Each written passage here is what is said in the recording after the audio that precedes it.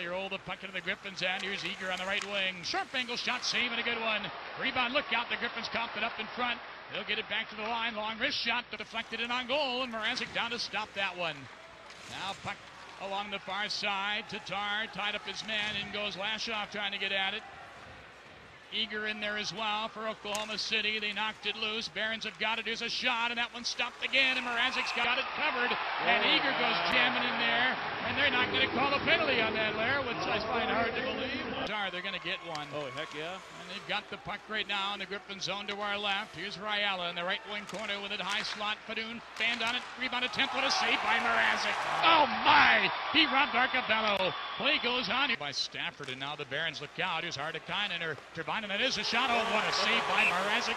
Reaching out with that glove and snaring it in wonderful and dramatic fashion. Pulled free. Skinner dumped it around the far side. Davidson's going to go get it, though. Now Davidson to Lander. Look out to Stafford. Walks in. Oh, my! What a glove save by Mrazek.